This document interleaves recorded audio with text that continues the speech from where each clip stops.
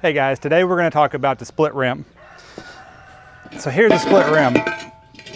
And it's different from an ordinary rim that you usually see on a car or a piece of equipment because it's in two pieces. And these rims were at one time very common and you found them on all kinds of equipment, even uh, regular passenger cars and trucks. Uh, today in America, you don't see them used hardly at all.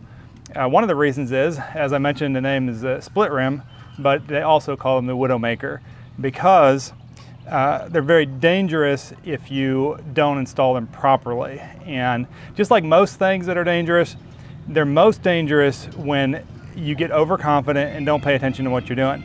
So as a disclaimer today, um, I'm going to tell you this is not a how-to video, and we don't recommend that you try this yourself, and uh, unless you're properly trained and have the proper equipment. So let's just show you how it works here. It has a little lip here in the main part of the rim and then the, the ring snaps on. It's basically like a giant snap ring.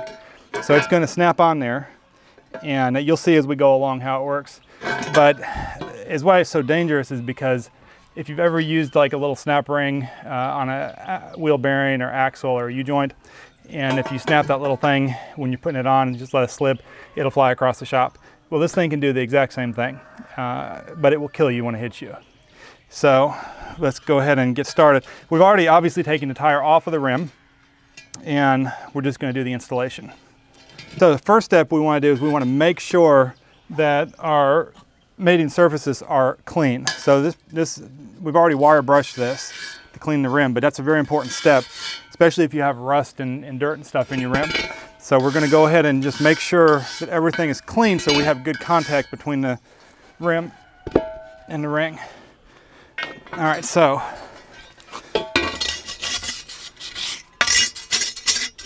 that's looking pretty good. Next step is we're gonna get the tire ready. Now split rim tires always have a tube because you've got those two pieces, they're not airtight. So you always have to have a tube when you're doing a split rim and you need to have a flap. And these have gotten kind of difficult to find nowadays, but you can find them online if you get on there and look. So what we're gonna do is put the tube in the tire, like so. And then we're gonna just inflate it a little bit, just enough to puff that tube up, just so it'll hold everything in place while we're putting the rim together. This particular tire is an 11L16. It's a low profile 11 inch wide tire and a 16 inch rim. Okay, so we've got the tube, uh, a little bit of air in it, partially inflated. And you can see we've got the valve stem here. You wanna make sure that the uh, tube, you don't have any wrinkles, that it just sits in there and everything is loose. All right, then we're gonna put the flap on.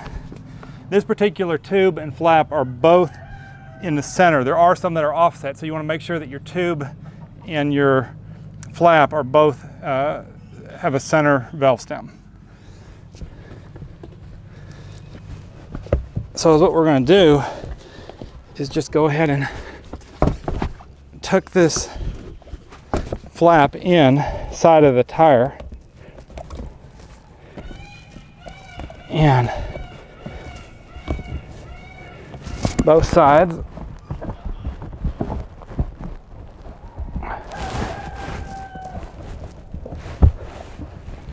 and we're just going to work our way all the way around. I might go and lay that down now. Okay, so this is how we want it to look. If you can see inside of here, we want the, the uh, flap to be smooth, everything to be loose. So just make sure everything's loose, and nothing's binding or we're gonna get any wrinkles in there. And uh, it's looking pretty good. I should have worn gloves on this one. All right, so here is the slot in the rim. Then we've got to line the valve stem up with the with that slot. Actually is what I might do is I might go ahead and just do this like this. So we want to keep the alignment, the, the slot and the rim aligned with the valve stem. Just gonna tap that down. All right, then we're gonna roll this back over and we're gonna put in this block of wood so that it holds the rim off the ground. That's gonna help us out a lot when we go to put that ring on there. All right, this looks like this is gonna be a tough one. This is a 12 ply tire, it's very stiff and it's 11 inches wide. The rim is about eight inches. So it's gonna be, looks like it may be a fun one to get on there.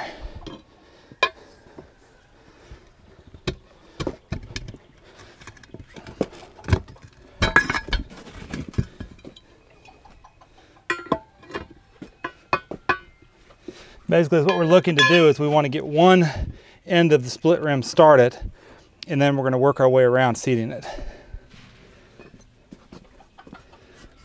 So the problem we're having is the bead of the tire is not wanting to get up on the inside of this, the ring part of the split rim.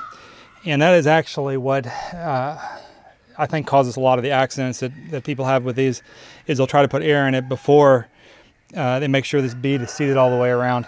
And then it will literally, when you put air in the tire, it will pop that bead right out. And when it pushes the bead out, it pops the ring off. So we got to make sure that we get the bead of the tire all the way up on that rim. And you can see there, I don't know if the camera can see in there or not, but you can see where it's seated most, most everywhere except for right in this area right here.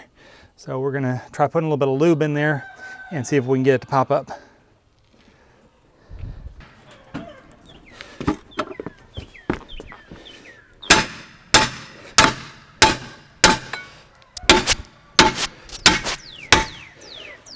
All right, looks like we're getting close now. We just gotta make sure that we get everything snugged up and make sure the tube is loose and in the right place. All right, so we're gonna go ahead and give it a try, put a little air in. And before we do, we're gonna put some chains on just as a safety measure gonna wrap some chains around. And that way if the ring were to pop up the chains will restrain it. Don't want to get the chains too tight because we don't want them to interfere with the tire inflating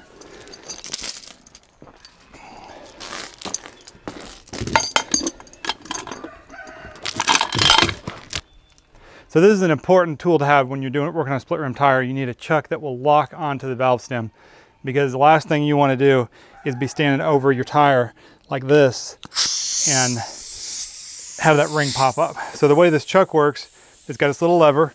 So you just clamp it down on there and the lever holds it. And as what we're gonna what we're gonna try today is a slow air compressor and just let it air up slowly and uh, just watch it, keep an eye on it, and see what happens.